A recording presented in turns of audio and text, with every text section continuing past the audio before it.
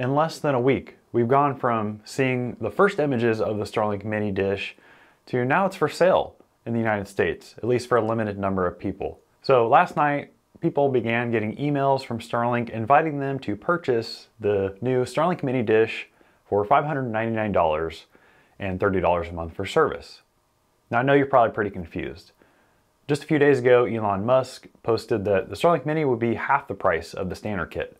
So why is it $100 more expensive? There's a lot to unpack here. So in this video, I'm gonna be going through all the details of this invitation only program, where the Starlink Mini is available, why it costs $599, and I'm gonna be talking about this mini roam service plan for $30 a month. So welcome to Starlink Hardware. My name is Colby. Let's jump right in.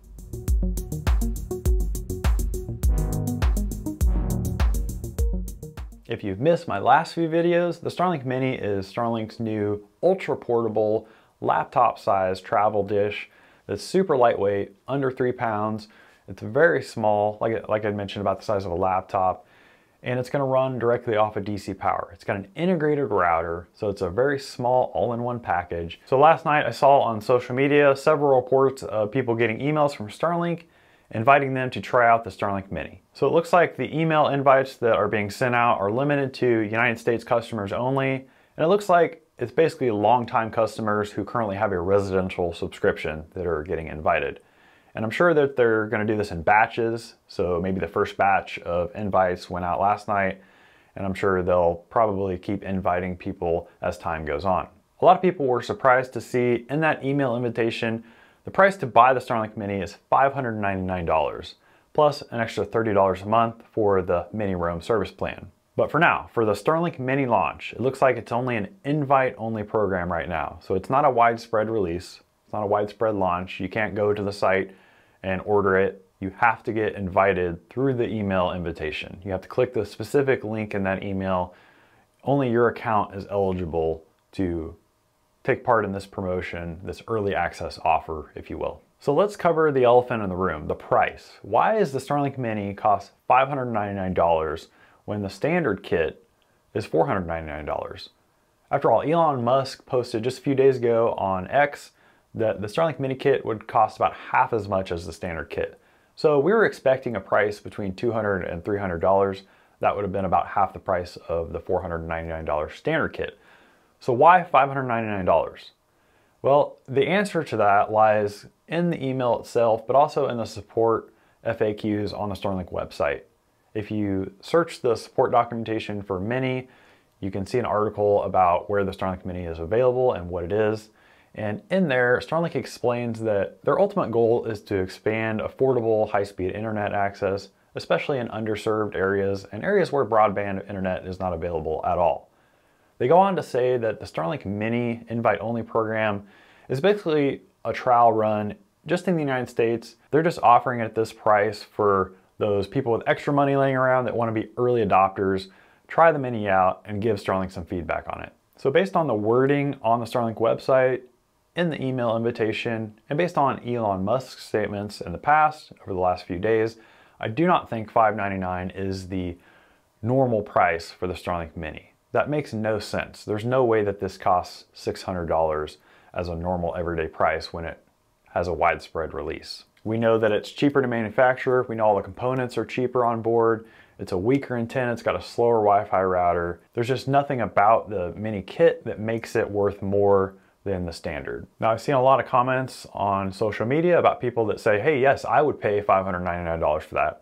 And that's fine. I'm not saying that you shouldn't pay that much money for it if you get the invite. I'm just saying that don't expect the $599 price to last forever. This is just the invite only program, which Starlink has a history of doing. If you remember with the Gen 3 router and the Gen 3 dish itself, they both were invite only at first with a wider release later on.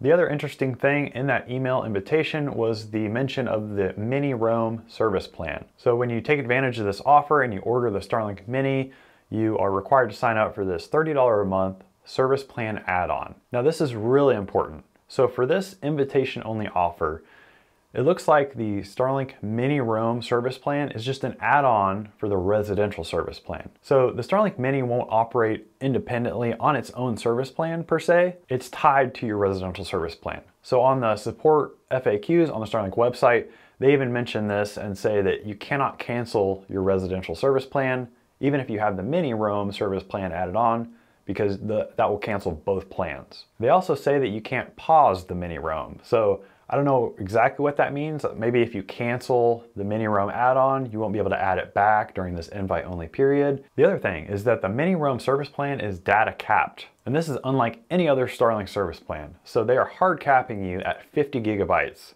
for each month. You'll have 50 gigabytes of mobile data on your mini roam service for your mini dish to use. After that, if you need additional data, you can purchase it at $1 per gigabyte and that buys you mobile data. It does not use your standard residential data.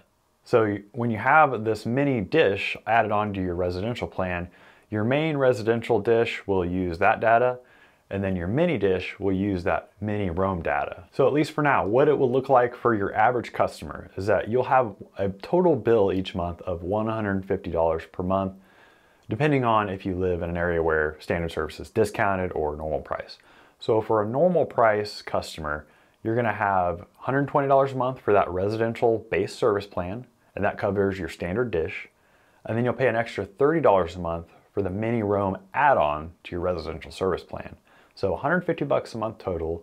You'll be able to use the mini dish anywhere throughout the United States while you're traveling. And then your residential standard dish is just for use at home. Another way that this mini roam add-on plan is different from regular roam is that it's only gonna work in the United States. So the regular roam plan works anywhere within the same continent that you're at, but that's not the case with mini roam yet. It just works in the United States at this point. And then finally, regarding this mini roam service plan, the support FAQs do say that you can upgrade your plan to mobile priority. So if you want to upgrade your account type to a business account and subscribe to mobile priority for $250 a month, you can do that. That will separate your account. So it'll separate the mini dish from your residential account into a new business account on a mobile priority data plan. And as you know, the mobile priority data plan does have global access, so you would be able to use your mini dish anywhere where Starlink has active coverage in the world. Another caveat to the mini roam service plan that's different from roam, it's not gonna be compatible with in-motion use. So if you wanna use your mini dish in motion, you'll have to upgrade the plan to the mobile priority data type. You will not be able to use it in motion with the mini roam data plan for $30 a month. So why is Starlink doing all this? What, what is with these odd pricing and plan changes and everything for the mini dish? Why not just a standard product release like they've done in the past? My theory, my speculation is that it has to do with just a quick cash grab toward the end of the quarter. So at the end of June, we end the second financial quarter of the year. This is a great way for Starlink to charge over, basically overcharge for the mini kit for customers in the United States who have extra money laying around that just want early access. So they're gonna be charging a premium for the mini kit based on that demand. They'll do this for a few weeks and probably earn a bunch of revenue because the profit margin on that kit is going to be pretty high at a retail price of $5.99. And then once the sales start slowing down from the email invite, they're going to do a wider release, maybe additional email invitations or perhaps just a wider release maybe state by state at a time, or who knows, even the entire United States at one time. In addition to the actual product itself, the Starlink Mini launching for select users in the United States, we actually have the shop page that's been updated now with accessories for the Starlink Mini. And this was also a huge surprise to me. So if you look at the shop page for the Starlink Mini, you'll find zero camping or RV accessories. The only thing that you'll find are a couple of roof mounts for fixed home installations and then a couple of uh, other accessories that we already knew about, like the Gen 3 router, Gen 3 router mount, cable routing kit, that sort of thing. Products that already exist for other Starlink models. So this one threw me off a lot because even in the mini spec page that we saw leaked a couple days ago, they had mentioned this USB-C adapter that would allow you to plug your Starlink directly into a USB power source. And that's not even in the shop. You can't even buy that yet. There are no travel cases, there are no other kinds of DC power adapters, nothing related to what the Mini, in my opinion, was intended for, which is a portable use cases, uh, something that's easily packable, easily movable, low power draw. You know, people are going to be buying these to put on their vans and RVs or even in a backpack to travel out into remote areas. So it doesn't make a lot of sense to me that they've chosen to focus on home installation products like roof mounts, when in my opinion, the standard dish makes way more sense for home installation applications, especially when you consider it's actually cheaper than the Starlink Mini. So what do you guys think? I mean, $599 for this dish that was supposed to cost half of that.